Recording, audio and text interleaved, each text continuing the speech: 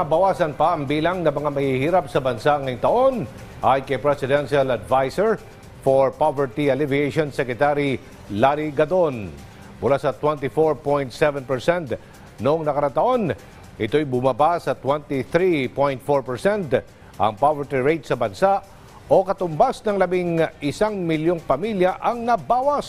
Sabi pa ni Gadon, malaki ang ambag dito ng pagbukas ng ekonomiya ng mga programa ni Pangulong Ferdinand R. Marcos Jr. na lumikha ng mga trabaho at nagpataas ng ating food supply.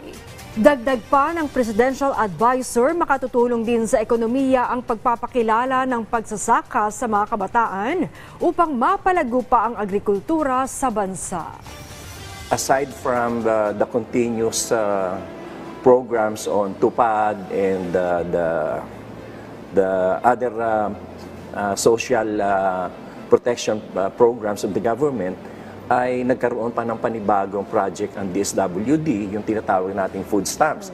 So yung talagang mahirap na mahirap na talagang dati hindi makabili ng pagkain, lahat naman sila ay uh, nabibigyan ng assistance.